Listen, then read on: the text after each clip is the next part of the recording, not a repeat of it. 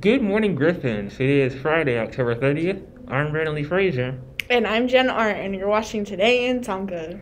Tomorrow is Halloween. Be safe, have fun, and no stealing candy from your little brother this year. He's annoying him a lot too.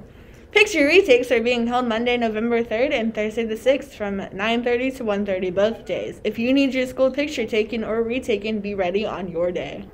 Also, Monday, wrestling practice begins. You need a physical on file with the office.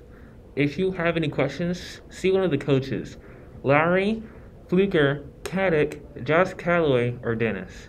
Boys and girls are welcome. Boys soccer plays the first game of district tournament Monday at 4 p.m. at Platte County. Good luck, guys!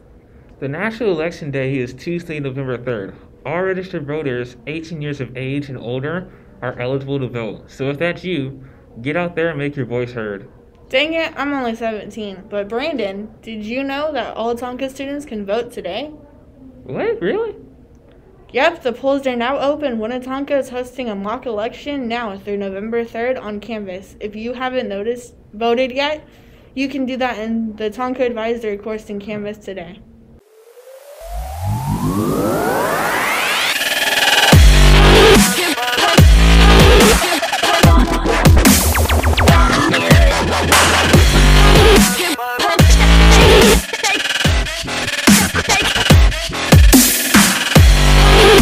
That's all for today, Griffins.